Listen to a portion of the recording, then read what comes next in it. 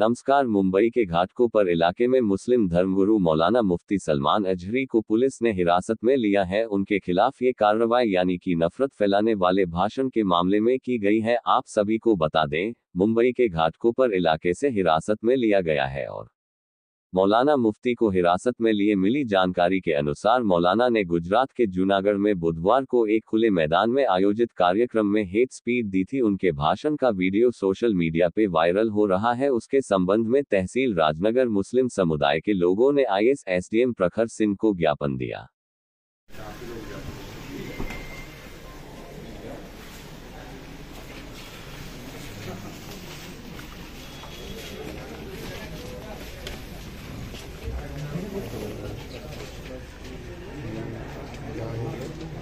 ये तबला मुफ्ती सलमान अजहरी साहब को गुजरात में बेगुनाह पकड़ा गया है। हम सब लोग इसलिए हाजिर हुए हैं कि उनकी रिहाई की जाए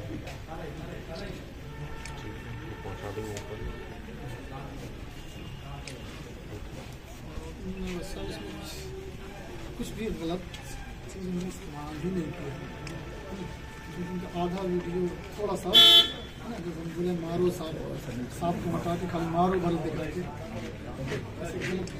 तरीके से उनकी वीडियो को हेरा फेरी उस पर केस बनाया ठीक है मैं कम्युनिकेट कर दूँगा इसको। हाँ प्राप्त